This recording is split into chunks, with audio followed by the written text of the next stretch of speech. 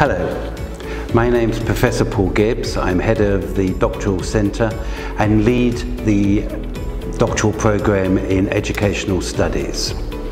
Let me tell you a little about this programme.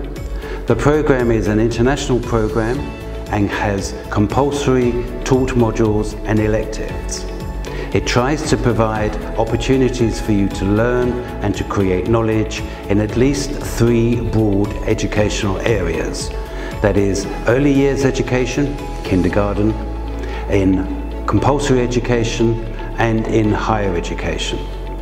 We have an international panel of supervisors who help you develop your understanding and research methods to provide an exciting and important piece of doctoral thesis which can be used to develop your own knowledge and to develop policy and practice in your workplace. I think you enjoy working with us. Thank you.